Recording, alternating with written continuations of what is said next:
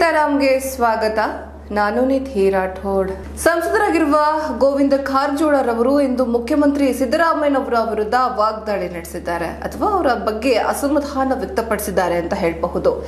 ಮೂಡಾ ಹಗರಣದಲ್ಲಿ ತನಿಖೆಗೆ ಆದೇಶವನ್ನ ಕೊಟ್ರೆ ತನಿಖೆಗೆ ಸಹಕರಿಸಿ ಆರೋಪ ಮುಕ್ತರಾಗಿ ಬರಬೇಕು. ಅದನ್ನ ಬಿಟ್ಟು ರಾಜ್ಯಪಾಲರ ವಿರುದ್ಧ ಆರೋಪಗಳನ್ನ ಮಾಡ್ತಾ ಕಾಲಹರಣ ಮಾಡೋದು ಎಷ್ಟರ ಮಟ್ಟಿಗೆ ಸರಿ ಅನ್ನುವಂತಹ ಪ್ರಶ್ನೆಯನ್ನ ಮಾಡಿದ್ದಾರೆ.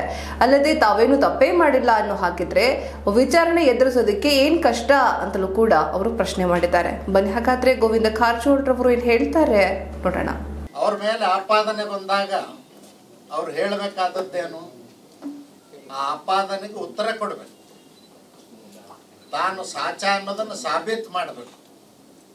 ಆದರೆ ನಾನೊಬ್ಬ ಹಿಂದುಳಿದ ವರ್ಗಕ್ಕೆ ಸೇರಿದಂಥ ನಾಯಕ ನನ್ನ ಮುಖಕ್ಕೆ ಮಸಿ ಬಳಿಲಿಕ್ಕೆ, ನನ್ನ ವ್ಯಕ್ತಿತ್ವವನ್ನು ನಾಶ ಮಾಡಲಿಕ್ಕೆ B J P J D ಎಸ್ನವರು ಹುನ್ನಾರ ನಡೆಸಿದಾರಂತ ಆರೋಪ ಮಾಡ್ತಾರೆ.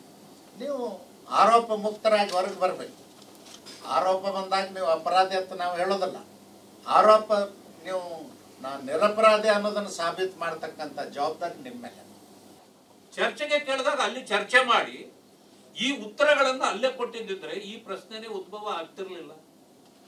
ಇನ್ನೂ ಒಂದು ದಿವಸ ಸದನ ಇರಬೇಕಾದ್ರೆ ನೀವು ಯಾಕೆ ಓಡಿ ಹೋದ್ರಿ?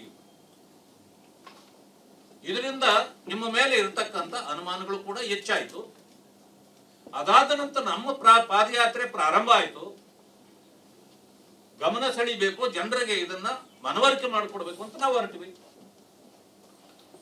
ಆಗಿದ್ರೆ ನೀವ್ಯಾಕೆ ಅದನ್ನ ನಮಗಿಂತ ಮುಂಚೆ ಹೋಗಿ ನಾನು ಕಳ್ಳ ಅಲ್ಲ, ನಾನು ಕಪ್ಪು ಚುಕ್ಕೆ ಇಲ್ಲ, ನಾನು ನಿರಪರಾಧಿ, ಯಾಕೆ ಹೇಳಕ್ ಹೋದ್ರೆ ಇದನ್ನೆಲ್ಲ?